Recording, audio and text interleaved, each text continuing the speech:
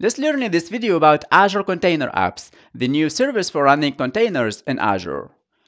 Within the Azure portal, if I select the containers section, I can see the services that I can use in order to run containers. These services have one common objective is that they can run containers in production. But they are different. They are different by design. On the left side, we'll find the services that will give you more infrastructure control. You will manage that infrastructure yourself, like using the Azure Red Hat OpenShift or the Azure Kubernetes Service, AKS clusters. On the right side, we'll find the services that will enable you to get more out of the developer productivity, like using the Azure App Service with the web app for containers, and using Azure Container Instance, ACI, or using Function app that can also run containers in a serverless infrastructure. Container apps positioning will be somewhere between the managed Kubernetes clusters and the app service services. The objective here is to have a managed environment or a managed service and at the same time get the uh, value of the developer productivity. So Azure Container Apps at the end, that's a fully managed serverless abstraction running on Kubernetes infrastructure. And its purpose is to manage and scale event-driven microservices with a consumption-based pricing model. Let's see the, uh, let's say the architecture of a container app. So it's built on top of AKS, the Azure Kubernetes Service, and it will use some open source components like the Envoy to manage the proxy or to manage the networking within the cluster between the services. And it will use also KEDA for event-driven auto-scaling to be able to scale out the containers within the container apps. It will also use the Dapr platform for managing the microservices. So with container apps, it's like you have a fully managed AKS cluster with uh, the platforms that are installed on top of that AKS, and then you will be able to deploy your containers and benefit from all of these infrastructures or platforms. What you can do now with container apps, what are the typical applications to deploy into a container apps? First scenario, we will have the microservices. Because container apps use Dapr, it will be able to handle the microservices architecture for communication between the microservices, and then the scaling will be done by using KEDA to scale out from 0 to n number of replica, and vice versa. Second type of applications is the event-driven processing. If we want to trigger an event that will trigger an application to run that will process a number of messages within a queue, for example, then we can enable that with container apps and we can use again KEDA to look for the number of messages within a queue and then scale out based on that number of messages.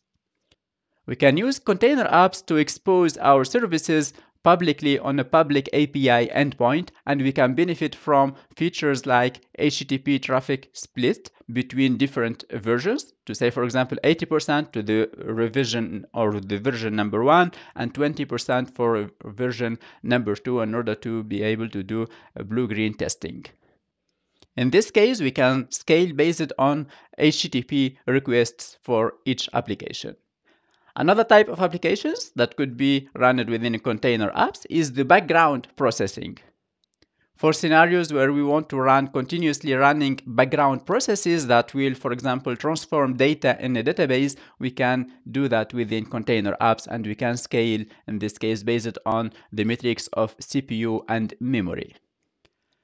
Let's now see the anatomy of container apps. When we create a container app environment, actually would have the first thing that will be created is the environment itself. As we said, container apps will, is built on top of AKS. So first of all, we would have that AKS created or the AKS cluster created with the creation of container apps. And of course, we'll not see that AKS cluster, we will not be able to manage it but we'll see another resource that is called container app environment. And here each environment have its own AKS cluster behind the scenes. Now within that uh, container apps environment we'll go to deploy our containers. They will be deployed because here we have an AKS cluster, they will be deployed within a pod that will live within a revision object. And within a pod, we can deploy one or multiple containers, and they, we could also deploy sidecar containers or init containers also. It's worth mentioning here that the only type of workloads supported within uh, container apps are the Linux containers. It does not support yet Windows containers. Now, after deploying our containers, maybe we want to expose these containers through, because we are using Kubernetes again, then that will be through an ingress resource. So we could use either an internal or external ingress, internal ingress for internal applications and external ingress for uh, public API endpoint. And because we might have multiple applications connecting with each other, then we can use the TLS encryption between these uh, services and we can split the HTTP requests between different revisions by using that Envoy service that is included and already running within the container app environment. Applications interact with external resources like databases, like external services, and for this reasons they will need to authenticate and to use some secret and sensitive data like a connection string or API token and for that reason container apps will support this scenario and will enable you to secure securely uh, store your sensitive uh, configuration elements within the container apps itself or by using other Azure services like the Azure Key Vault. Getting the application logs is very important for the, developers to make sure that their application is behaving correctly as they expect. And to get these logs within container apps, we have multiple options. Either you don't want get you want to you don't want to get the container logs, sorry, or either you want to get the logs and save them into log analytics workspace. And container apps supports the CI/CD or the DevOps scenarios where we can use GitHub Actions or Azure DevOps pipelines or any other CI/CD tool in order to deploy our containers into the container apps environment. Let's now move to a demo where we'll go to create a simple container app application within the Azure portal. Let's learn in this video how to create a new container apps environment and applications to deploy a sample container. So from within the Azure portal, I'll go to the search section and I look for containers from here and here I will see the container apps service. I'll select it and in this subscription I don't have any container app yet. So let's go to create our first container app.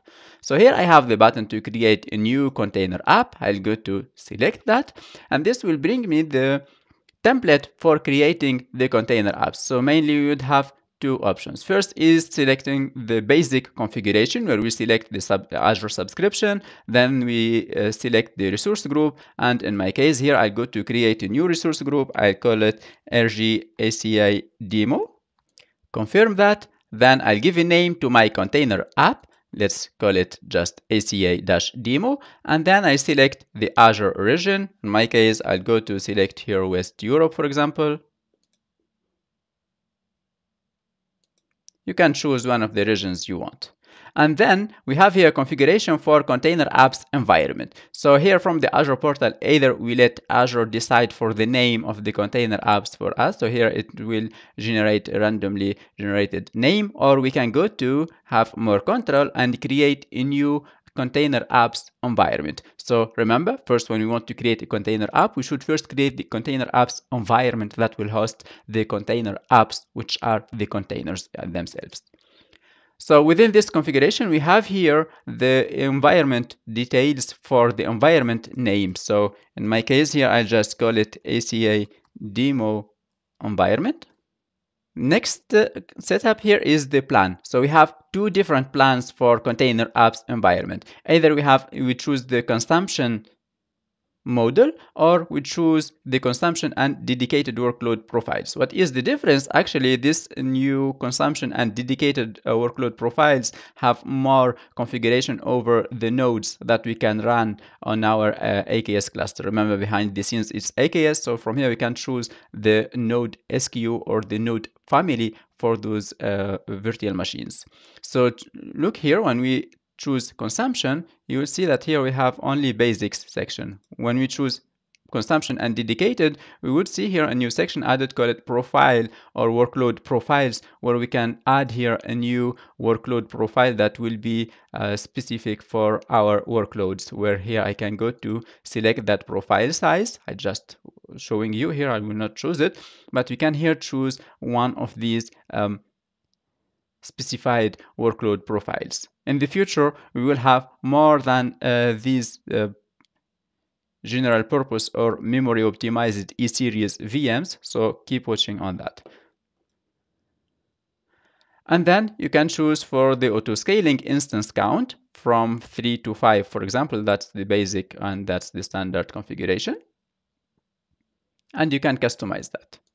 I'll go back to the basics section and here I go to select consumption for the simplicity of this demo.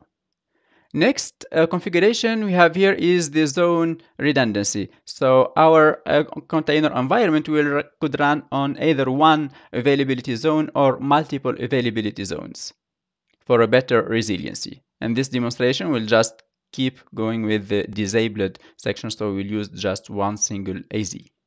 Next configuration is the monitoring. So from here, we can choose to send the logs from our container apps into log analytics or to Azure Monitor, or we can just disable sending the logs. And that's the configuration that I'll choose here for simplicity. Next, then I'll go to the networking section and within networking section, I can either use my own virtual network or I can use a virtual network that will be managed by the Azure infrastructure itself. It will be managed for me. So if I choose yes, I want to use my own infra, then here it will ask me to create a new virtual network and then specify and create a new subnet within that uh, virtual network. For simplicity again, I'll just keep with no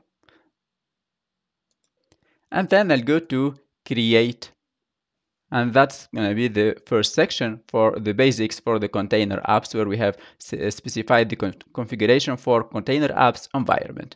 Now let's move to the second section where we specify what is the container that we want to deploy on top of this container environment. So here we can either choose to run a container from Azure Container Registry ACR or a container from Docker Hub or any other container registry by specifying the credentials if it's a private container or by just specifying the name and the tag of that uh, image. For simplicity, again, I'll go to use a single or a simple quick start image that will be provided by Azure Container Apps team that is called Simple Hello World Container. That container will have a resource allocation of 0.25 uh, CPU and 0.5 gigabytes of memory available for this container. So this container will be available using an ingress resource that is enabled because we have enabled that within the container apps environment. And it will accept traffic from anywhere. It will be exposed through a public API on the internet and it will use the target port number 80. Next configuration is the tags. I will just skip it. And then I'll go, Azure will go here to validate the configuration for the container app and for the container apps environment. And then next I go to select create. Now Azure will go to create the container apps environment. This means that behind the scenes will go to create an AKS uh, cluster. Of course, I will not see that AKS cluster. It will be um, fully managed by container apps.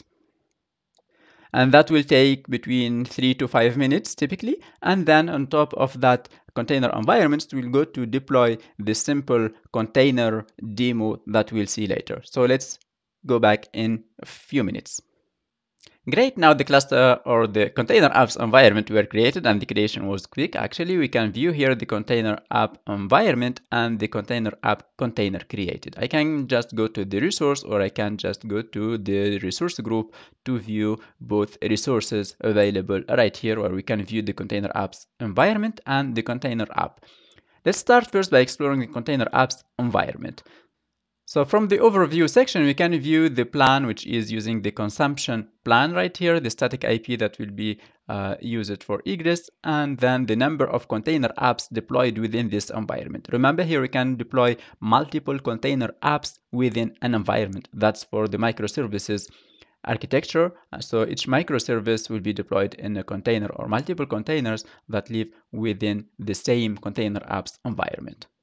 And because container apps use KEDA and Dapr extensions, they will be installed by default. From here, we can view the versions of these two components. Now from here, if I go to apps, I will see the app that here or the container that is deployed within this container app environment, which is this one, the same uh, resource that is available within the resource group container app. If I select that, then the first thing I will see within the overview section is the application URL. If I click on that, that will open in a new window. And because this is publicly available on the internet, so from here I can see that URL serving my uh, container app sample application on a public URL that is using the location and then .containerapps.io. Of course, I can go to customize this domain name. But for now, we are happy that we have our container deployed within container apps in a very simple way.